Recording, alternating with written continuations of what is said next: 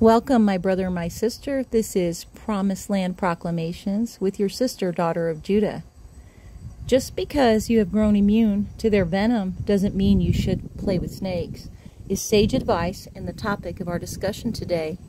The snakes I'm referencing are the venomous people in your life who, like a traditional snake, occasionally use their venom to defend themselves, but are rarely eager to strike just anyone, choosing instead to save their venom for their prey. Just as a snake sheds its skin, so too do these wicked people put on a new cloak, pretending to be something they are not, lying in wait to pierce you. The first mention of a snake in the Bible is in Genesis and the deception he used on his prey, Eve. It is an allegorical story best understood by reviewing the video series on this channel titled The History of You.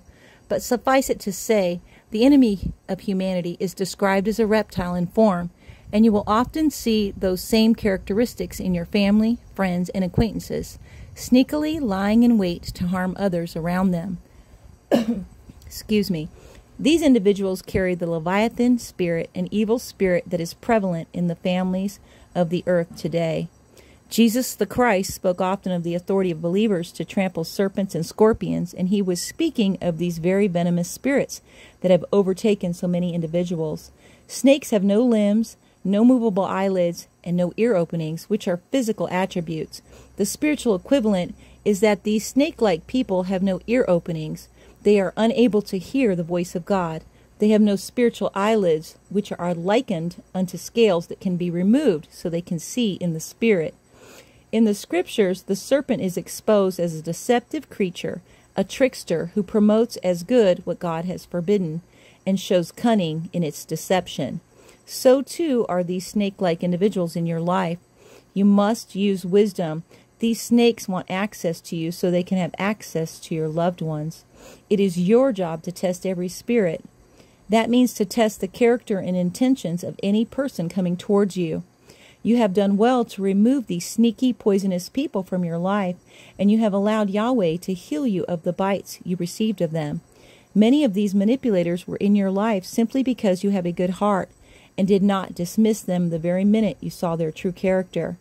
Some you allowed to stay well past their welcome date due to proximity.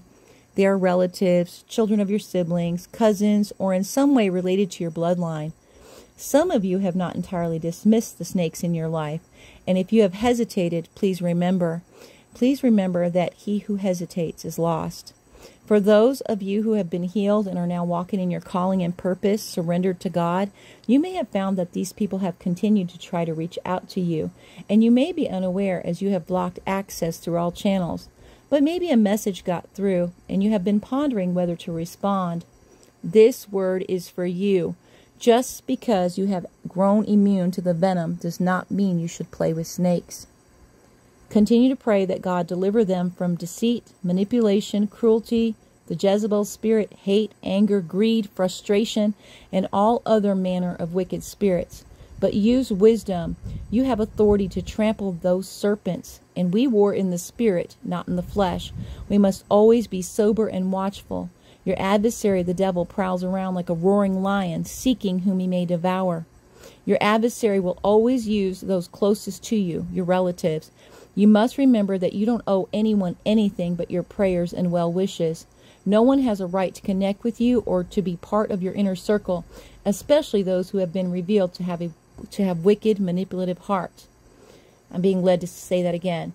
You must remember, my brother and sister, that you don't owe anyone anything but your prayers and well wishes. No one has a right to connect with you or to be a part of your inner circle, especially those who have been revealed to have wicked, manipulative hearts. Opening doors to unrepentant folks is just a way to get bitten by them. And you're wiser now. You have been brought to a place where you are celebrated, not just tolerated. And why invite a snake to dine with you? If nothing else, you owe it to your loved ones to protect them from these Leviathan spirits. Hello, welcome, my brother and sister. I've been led here by the Lord to bring this word to you. Many in this hour are pondering about these these connections with these relatives and while we have prayed for full restoration for our families and deliverance from these leviathan spirits you are very aware of who still carries these spirits who is lying in wait to bite and pierce the members of the family. And you have a duty to protect your loved ones, to keep them away from these liars, these deceitful ones. The Leviathan spirit I speak of is a very powerful spirit, and it takes great fasting and prayer and spiritual warfare to remove it from yourself and to remove any connection to it. And of course, we are grateful to these individuals because they pushed us into our destiny. They pushed us to pray more. They they, they pushed us by their wickedness, their wicked behavior, their lies, and their deceit is what pushed us straight into the Father's arm and led us straight into our destiny, right? Took us to our destiny helpers, led us to the exact place that God wants us to be. And if you're not quite there yet, you're on your way. But this is a reminder that this is the season where many people will try to connect back with you as they see what God is doing in your life, as they see that you've been delivered. Remember, their goal, because they carry this wicked Leviathan spirit, they haven't repented, they're not walking in covenant with God, they're liars, they will try to contact you either through social media, through messages. Um, I believe it's called DM, I'm not sure, these private messaging groups. Um, I myself do not have a Facebook, I have very little social media. And um, but they may try to email you, and you've already had them blocked, so they cannot contact you on your phone, and that's in obedience to Yahweh. God has told you to block them. Remember what Jesus Christ said to to his betrayer, right? Judas Iscariot. What does he say? He says, "Do what you're doing quickly. Do it quickly." Pull that band-aid off. Go on and, and, and, and do what you're going to do. Go on and betray me because it's going to lead me into my purpose right? He could see the betrayer. It's been it had been revealed to him and it's been revealed to you through prayer and fasting and seeking the lord and and as you've learned to test the spirits. Remember the bible tells us to test every spirit. That's what we have been told. We've been taught to do that. And many of these people were in our life and they and they pretended christianity right they pretended to be believers in the Lord Jesus Christ. And of course, we we saw as time went on that that's not that's not who they were. They were not serving Jesus. They were working for the wicked one. And many of these people don't even know that they're working for the devil because there's no one in their immediate family who has corrected them. So, of course, this has gone on for quite a season, and many of the believers in the body of Christ, you have such good hearts. You know, God has really given you this heart of love for people. And because you wouldn't treat people poorly and you wouldn't wouldn't do these things to people and you just wouldn't hurt them intentionally you, you know you don't carry the leviathan spirit. You don't carry these wicked spirits. And so it's been very difficult to discern. But of course god intended it for it to happen because we were going to a season when we were going to be seated in in in places very different places than we grew up in right? We're around different people and we have had to learn to discern to tell the difference between different types of spirits. What is the character of this person to pray and seek and ask God to reveal it? And you know, I love that saying of don't fool around with spiritual people because the Holy Spirit will tell them all your business. And that's the truth. Once you started praying for these people and seeking God, He showed you this Leviathan spirit within families. A lot of times it's on mothers and daughters and so a lot of your nieces will have it. Nephews will have it. Not just female it's male too. These nieces and nephews will have the same generational curses and they haven't been able to break it. Their mother hasn't been able to break it.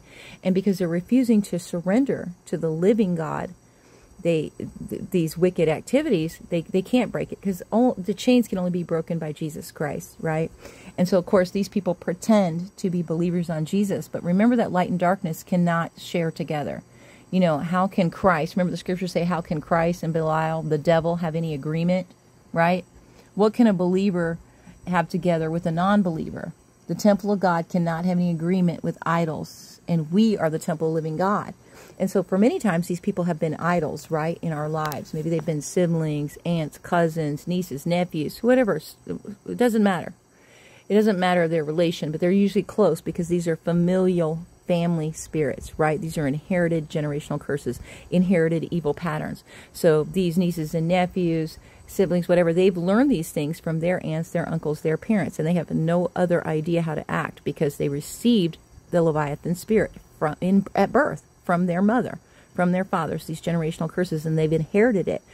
And so once they were uncovered, and and you can see right through them, they're coming back now. They want to come back. They want to connect with you and pretend that they haven't done these wicked things. Matter of fact, when they go to contact you, they'll pretend as though they're just trying to reach out to be of assistance, and they'll they'll generally these people will have uh, very they're very pretentious and they pretend very very well. they they carry a manipulative spirit. One of the key traits of that Leviathan devil spirit is manipulation. And of course, remember the scriptures say that the children of darkness are much more cunning and subtle than the children of light. We're the children of the living God. So we are, you know, we're not cunning, we're not sneaking around like these snakes. You know how a snake it sneaks, it slithers, and it sneakily, you know, waits to attack its prey, right? And that's exactly what these characters have done. And due to their close proximity of bloodline, they have gotten away with it for years and years and years. And of course, their parents have never called them out. Their siblings have never called them out. There aren't any Christ believers around them. There's no followers of Jesus Christ to correct them. Because remember in the scriptures that tells us we're not to correct without. And that means the people outside the church that don't claim Christ. Now you do have street preachers, but for us, the believers in Christ, we they God will deal with them. God will judge them. But we ourselves are to judge the fruit and the character of the people who say they are they are in the body of Christ. The Bible says, Do you not know you will judge angels? How much more the things of this life? And that means the people that are saying that they have Jesus, but every action that they take is not. You know, they're snake like.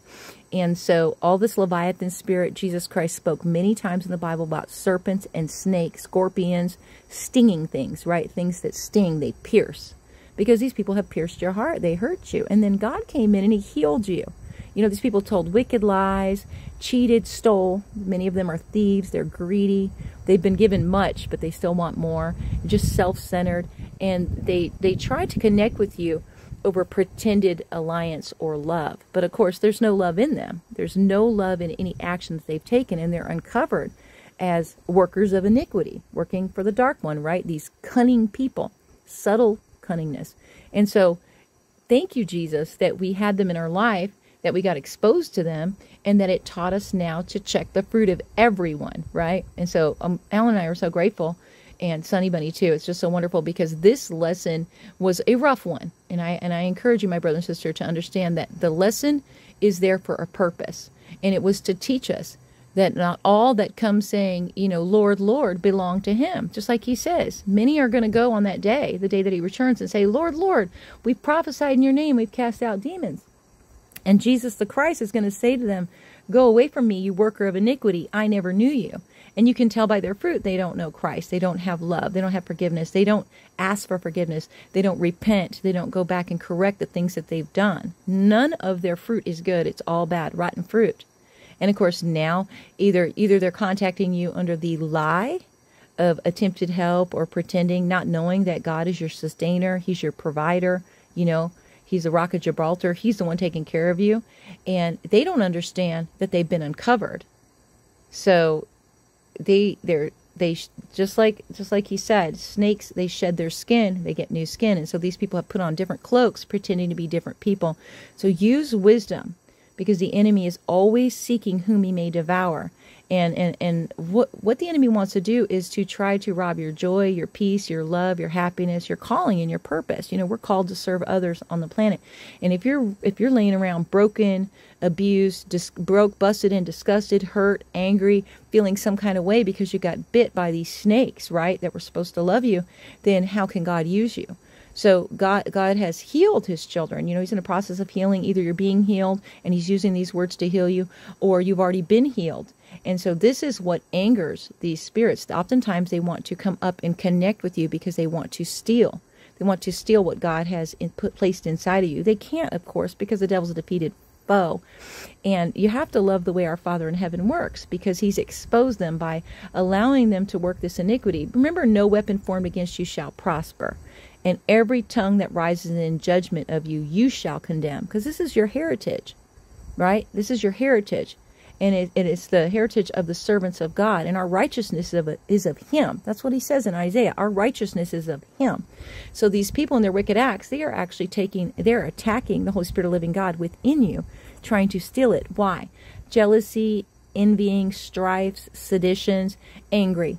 They're angry because they're not walking in covenant with God, and so because they haven't fully surrendered to Christ, they cannot find their true purpose and calling. So they're confused, angry, upset, and they don't know they don't understand that they can't win. So that angers them as well.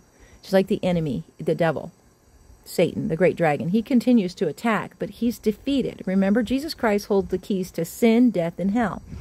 And so these people want you to react in anger. They don't understand you're healed and you're walking in perfect peace with Christ. You have a sound mind and you're walking in covenant with Jesus Christ. He's your best friend. He loves on you and he exposes these people. And so this is a beautiful, glorious thing. Hallelujah, glory to Jesus Christ. And so remember, my brother and my sister, just because you've grown immune to the venom does not mean you should play with snakes.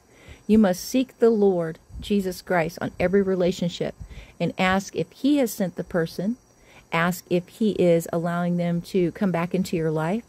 Oftentimes, He can remove He will remove people for a season, and then allow them back in.